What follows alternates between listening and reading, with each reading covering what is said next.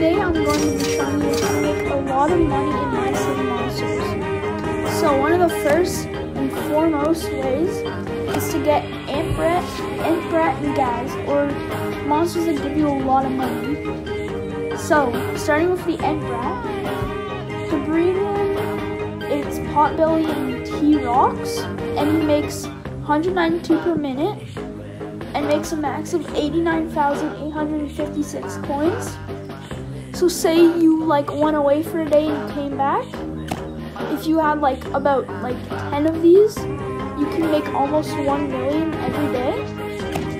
And then second is the Ghazt. These guys are hard to get.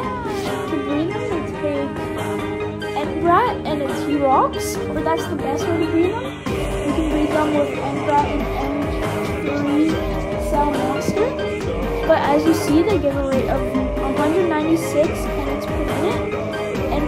max of 192,000. So that's very good. Um, and then you can also go to. Sorry about that. That was a stupid ad. But anyways, you can come to Wublin and you can get a bunch of these guys. So they are called Zynths.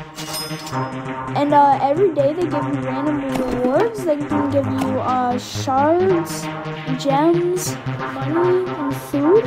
So yeah, get these guys because as you can see, they're very simple to make. And they're actually the simplest on the island. So if you look at this guy, look at everything you have to put in. That, that's a lot of stuff.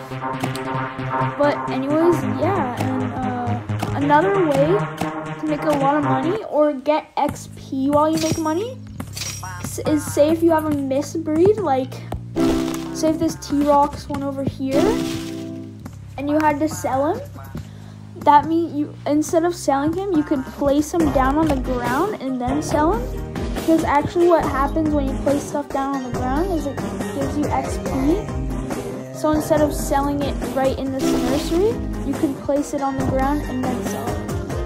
So yeah, that's just some good ways to get